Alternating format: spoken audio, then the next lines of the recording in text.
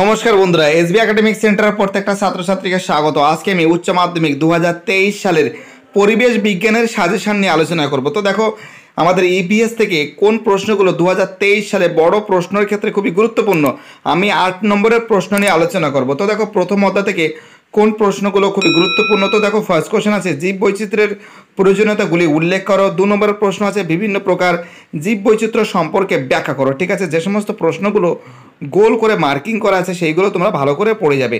তিন নম্বরের প্রশ্ন জীব বৈচিত্র্যের অবলুপ্তির কারণগুলি সম্পর্কে লেখো। চার নম্বরের প্রশ্ন, আলফা, বিটা, গামা বৈচিত্র্যের মধ্যে পার্থক্য করো, ঠিক আছে?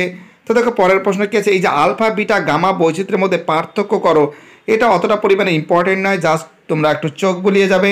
তো দেখো, পাঁচ নম্বরের প্রশ্ন কী আছে? বন্যপ্রাণী বিলুপ্তির কারণগুলি উল্লেখ করো মোস্ট মোস্ট ইম্পর্টেন্ট প্রশ্ন। পাঁচ নম্বরের প্রশ্ন কী আছে? তো দেখো, চার সরি বন্যপ্রাণী বিলুপ্তির কারণগুলি উল্লেখ করে। এটা কিন্তু চার নম্বরের মধ্যেই আছে, ঠিক আছে? পাঁচ নম্বরের প্রশ্ন কী আছে? বন্যপ্রাণীর গুরুত্ব বন্যপ্রাণীর গুরুত্ব ও সংরক্ষণের উপায়গুলি সম্পর্কে লেখো। আট নম্বরের প্রশ্ন কী আছে? হটস্পট জীব বৈচিত্র্য সম্পর্কে লেখো। ঠিক আছে, এই যে সমস্ত প্রশ্নগুলো গোল গোল করে মার্কিং করা আছে, এইগুলো কিন্তু খুবই গুরুত্বপূর্ণ, ঠিক আছে? উচ্চ মাধ্যমিক দু হাজার তেইশ সালের ইভিএস পরীক্ষার ক্ষেত্রে। তো দেখো যে সমস্ত প্রশ্নগুলো আমি মার্কিং করেছি, এইগুলো তোমরা যদি ভালো করে পড়ে যেতে পারো হান্ড্রেড পার্সেন্ট এর ভিতর থেকে তোমরা কমন পেয়ে যাবে। চোদ্দ নম্বর প্রশ্ন, পরিবেশগত ভারসাম্য বলতে কী বোঝো? উদাহরণসহ এর গুরুত্ব আলোচনা করো। পনেরো নম্বর প্রশ্ন কী আছে? জীব বৈচিত্র্যের বিনাশের কারণগুলি সংক্ষেপে আলোচনা করো। তো দেখো, তুমি কিন্তু, তোমরা কিন্তু আমাদের কথাগুলো ভালো করে শুনবে, ঠিক আছে? আমি যেগুলো বলছি, সেইগুলোই পড়ে যাবে। ঠিক আছে, তো দেখো পনেরো নম্বরের প্রশ্ন এবং চোদ্দ নম্বরের প্রশ্ন কিন্তু খুবই গুরুত্বপূর্ণ। ষোলো নম্বরের প্রশ্ন কী আছে? পরিবেশ সংরক্ষণের গুরুত্ব আলোচনা করো।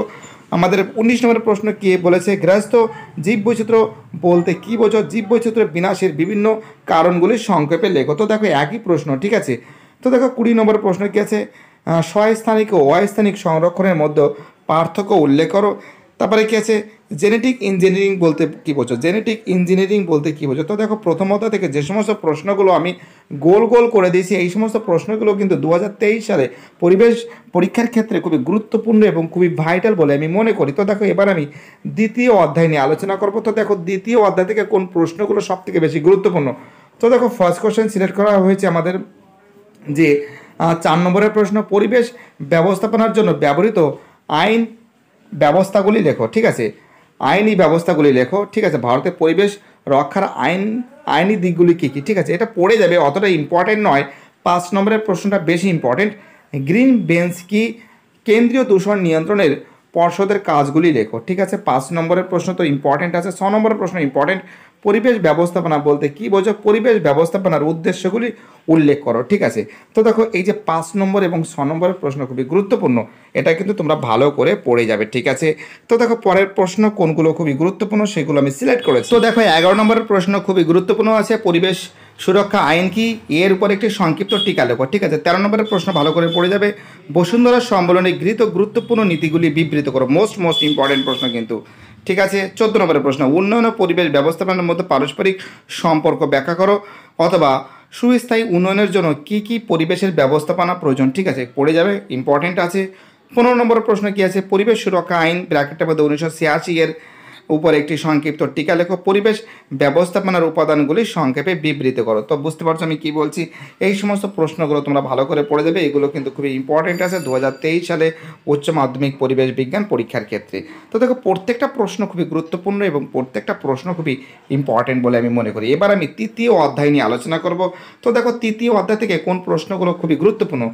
তো দেখো, ছ নম্বরে একটা প্রশ্ন আছে, সুস্থায়ী উন্নয়নের নীতির গুলি উল্লেখ করো, সুস্থায়ী উন্নয়নের নীতিগুলি উল্লেখ করো। সাত নম্বরের প্রশ্ন কী আছে? সুস্থায়ী উন্নয়নের লক্ষ্যের বাধাগুলি সম্পর্কে আলোচনা করো। আট নম্বরের প্রশ্ন কী আছে? সুস্থায়ী উন্নয়নের গুরুত্বপূর্ণ বিষয়গুলি লেখো। ন নম্বরের প্রশ্ন কী আছে? ফোর আর পদ্ধতি বর্ণনা করো। তো দেখো, যে সমস্ত প্রশ্নগুলো আমি গোল গোল করে দিয়েছি, এই সমস্ত প্রশ্নগুলো কিন্তু খুবই গুরুত্বপূর্ণ। বারো নম্বরের প্রশ্ন কী আছে? সুস্থায়ী উন্নয়নের সংজ্ঞা লেখো, এর প্রধান লক্ষ্যগুলি উল্লেখ করো। ঠিক আছে, তেরো নম্বরের প্রশ্ন কী আছে? সুস্থায়ী সমাজ গড়ার প্রয়োজন, প্রয়োজনে প্রধান পদক্ষেপগুলি মানে বিবৃত করো। সুস্থায়ী সমাজ গড়ার প্রয়োজনের প্রধান পদক্ষেপগুলি বিবৃত করো। এবং তার সঙ্গে কী আছে? অথবা বর্তমান ও ভবিষ্যৎ জীবনযাত্রার মান উন্নয়নের, সুস্থায়ী উন্নয়নের আবশ্যিকতা লেখো, ঠিক আছে? তো দেখো, এই সমস্ত প্রশ্নগুলো কিন্তু খুবই গুরুত্বপূর্ণ। বারো নম্বরের প্রশ্ন, তেরো নম্বরের প্রশ্ন খুবই ইম্পর্টেন্ট খুবই ইম্পর্টেন্ট এবং খুবই ভাইটাল এইগুলো কিন্তু দু হাজার তেইশ সালের ক্ষেত্রে মোস্ট মোস্ট ইম্পর্টেন্ট এবং মোস্ট মোস্ট ভাইটাল বলে আমি মনে করি। তো দেখো, এবার আমি চতুর্থ অধ্যায় নিয়ে আলোচনা করব। তো দেখো, চতুর্থ অধ্যায় থেকে কোন প্রশ্নগুলো খুবই গুরুত্বপূর্ণ? ফার্স্ট কোশ্চেন সুস্থায়ী কৃষির প্রয়োজনীয়তাগুলি আলোচনা করো। তিন নম্বর প্রশ্ন, মাটির বিভিন্ন উপাদানগুলি সম্পর্কে আলোচনা করো। ছ নম্বরের প্রশ্ন, মাটির জৈবিক গুরুত্বর দিকগুলি সম্পর্কে আলোচনা করো। আট নম্বরের প্রশ্ন কি আছে? জৈব সার কি ম্যানিওরের বিভিন্ন প্রকার সম্পর্কে লেখো। তো দেখো, আমাদের আট নম্বরের প্রশ্ন কি আছে? জৈব সার কি ম্যানিওরের বিভিন্ন প্রকার সম্পর্কে লেখো। ন নম্বরের প্রশ্ন কি বলেছে? বায়ো ফার্টিলাইজার বায়ো ফার্টিলাইজার কাকে বলে? বিভিন্ন প্রকার বায়ো ফার্টিলাইজার সম্পর্কে লেখো। বিভিন্ন প্রকার বায়ো ফার্টিলাইজার সম্পর্কে লেখো। তো দেখো, এই যে সমস্ত প্রশ্নগুলো স্টার মারা আছে, যে সমস্ত প্রশ্নগুলো গোল গোল করে দেওয়া আছে, এই সমস্ত প্রশ্ন যদি পড়ে যেতে পারো হান্ড্রেড পার্সেন্ট এর ভিতর থেকে তোমরা কমন পাবে। এগারো নম্বরের প্রশ্ন কি আছে? পেস্ট কাকে বলে? মেজর ও মাইনর পেস্টের মধ্যে পার্থক্য করো। ঠিক আছে? মাজার পোকা, ঠিক আছে? পামরি পোকা, পিয়ার স্লাগ এবং স্টিং বাগ প্রভৃতি পেস্টের সংক্ষিপ্ত বিবরণ দাও। তো দেখো, এই সমস্ত প্রশ্নগুলো কিন্তু তোমরা পড়ে যাবে। চোদ্দ নম্বরের প্রশ্ন কী আছে? বিভিন্ন প্রকার কীটনাশক সম্পর্কে লেখো। তো দেখো, ষোলো নম্বরের প্রশ্ন একটু আছে, মিশ্র শস্য চাষ ও স্থানান্তর কৃষি কি? সতেরো নম্বরের প্রশ্ন, পেস্ট দমনের জৈবিক পদ্ধতিগুলি ব্যাখ্যা করো।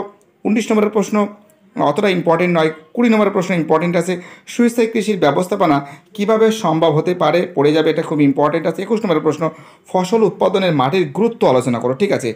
এবং বাইশ নম্বরের প্রশ্নটা দেখো কি আছে? সুস্থায়ী কৃষির কর্ম পরিকল্পনার উপর সংক্ষিপ্ত টিকা লেখো। তেইশ নম্বরের প্রশ্ন, পরিবেশের উপর কৃষি রাসায়নিকের প্রভাব ব্যাখ্যা করো। চব্বিশ নম্বরের প্রশ্ন, সুস্থায়ী কৃষিকার্যের বিভিন্ন উপাদানগুলি সম্পর্কে লেখো। তো দেখো, এই সমস্ত যে সাজেশনটা দিয়েছে, এই সাজেশন যদি তোমরা যদি ভালো করে প্র্যাকটিস করে যাও, হান্ড্রেড পার্সেন্ট তোমরা নাইনটি পার্সেন্টের উপরে পাবে। ভিডিওটি দেখার জন্য এসবি একাডেমিক সেন্টারের তরফ থেকে প্রত্যেকটা ছাত্রছাত্রীকে জানাই অসংখ্য ধন্যবাদ। সুস্থ থাকো, ভালো থাকো, আমাদের চ্যানেলের সঙ্গে যুক্ত থাকো, এটাই আমার একান্ত অনুরোধ তোমাদের কাছে।